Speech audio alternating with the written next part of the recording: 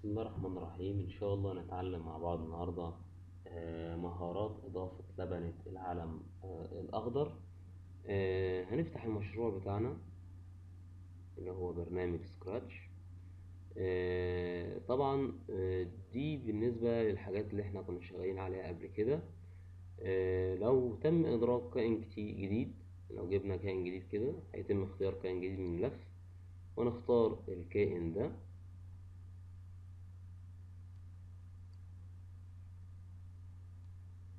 على سبيل المثال القرى ونقول موافق آدي الكائن بتاعنا. هنا طبعا البيئة بتاعة المقاطع البرمجية أو الجزء بتاع المنصة ديت فاضي خالص مفيهوش حاجة. فهيتم الذهاب إلى زر تحكم وهيتم إضافة لبنة علم العلم الأخضر بالشكل ده.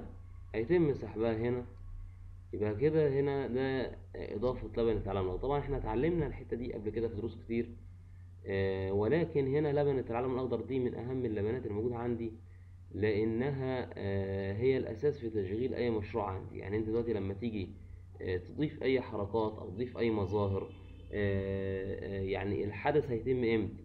يعني أنت مثلا عايز الحركة تشتغل إمتى؟ لما يتم مثلا النقر على العلم الأخضر ولا آه لما يتم النقر على آه مفتاح المسافة ولا مثلا آه ينتظر مثلا ثانية ويشتغل. كل دي أحداث برمجية قدامنا هي لازم نبقى عارفين تشتغل إزاي. ولكن أولهم هو علم العلم الأخضر اللي قدامنا ده لأنه من أهم اللبنات الموجودة عندي في برنامج سكراتش